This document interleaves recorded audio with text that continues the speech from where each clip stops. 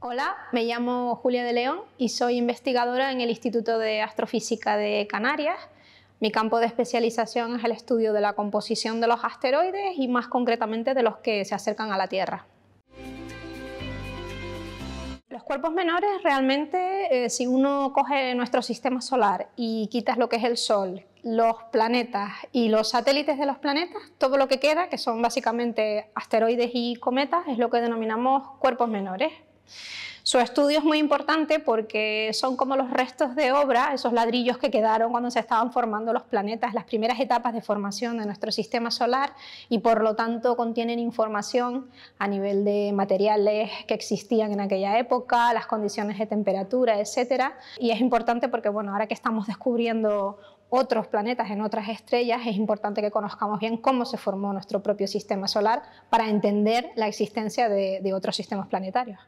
Dentro de los cuerpos menores distinguimos principalmente, te diría, tres categorías, asteroides, eh, cometas y después lo que llamamos objetos helados, que son los que están más allá de la órbita de Neptuno y que por su composición, que son muy ricos en, en hielo, sobre todo de distintos volátiles, pues se diferencian bastante bien de lo que son asteroides. Entonces yo te diría asteroides, cometas y objetos helados.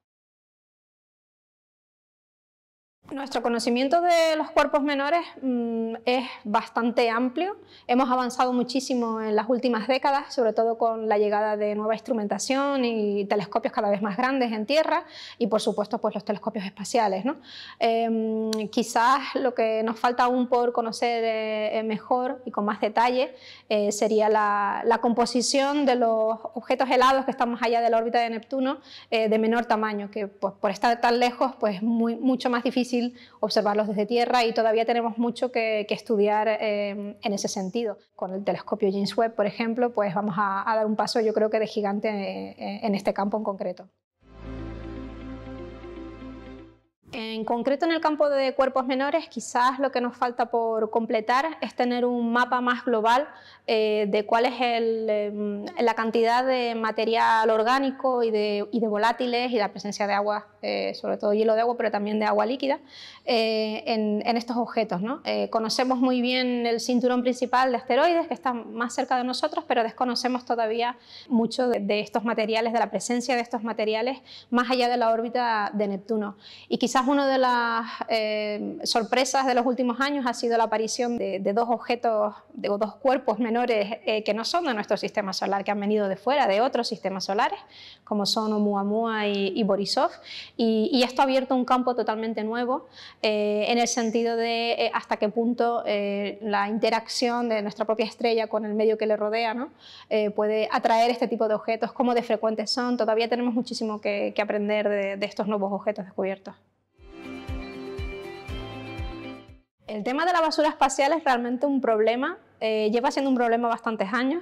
Eh, como siempre, pues tendemos a, aplicar soluciones cuando hay alguna cosa grave, ¿no? Es una, cosa que se aplica eh, en general en ser humano.